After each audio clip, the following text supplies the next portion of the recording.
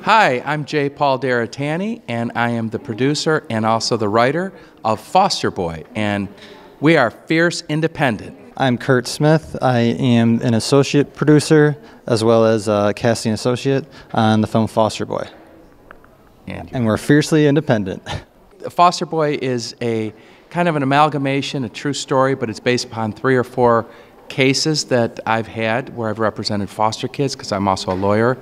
And uh, I became a filmmaker about eight years ago and decided to write about what I know. And uh, foster abuse is prevalent in the United States. It's, uh, they estimate about a third of kids in the foster care system are abused uh, physically, emotionally, sexually.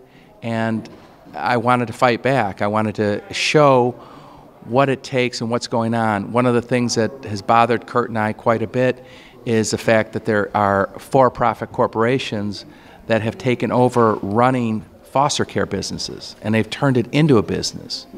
And as I have processed some of these cases, I've uh, wanted to get get the word out more than just in it by with one case and one jury.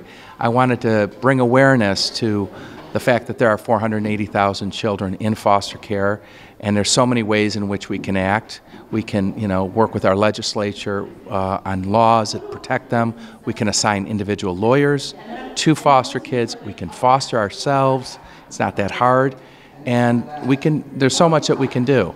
So that's what inspired me to write it. And after several rewrites and uh, a lot of work and blood, sweat, and tears, and uh, Curt's help, and uh, we made it. This is my first time. This is our This is our first, first time, time. at Woodstock, and. Uh, my sister went to Woodstock 50 years ago. She's quite a bit older than me, um, and but it's not the actual Woodstock. I guess it's uh, half hour, hour away from here, apparently. But she went to the Woodstock film, uh, the Woodstock Music, Festival, the Yeah. original, and uh, it just was exciting. There's a lot of history about Woodstock. It's an arts community. Um, we both have a little place in Saugatuck, Michigan, which is very similar, Yeah. and it also used to have a film festival. And just as we drove in, we were just excited about how beautiful it is here. It's just such a beautiful town, and and then we walk in, and there's all of these people, and I'm going to use the word in the best way possible, granola. These really nice granola people that uh, you know are down to earth and they're real, and uh, it just is exciting to be here. Fiercely independent is important because in the world of filmmaking, it, it's so important to be independent of the studios.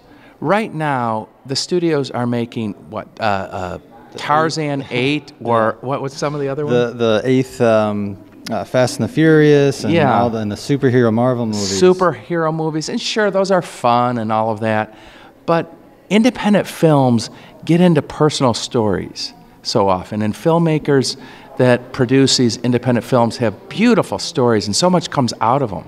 And fiercely independent means we've got to continue to support the art of storytelling from an individual's perspective. And I, I really applaud Woodstock and the folks here, and what a great job you've done at promoting independent film. Thank you, Woodstock. Thank you.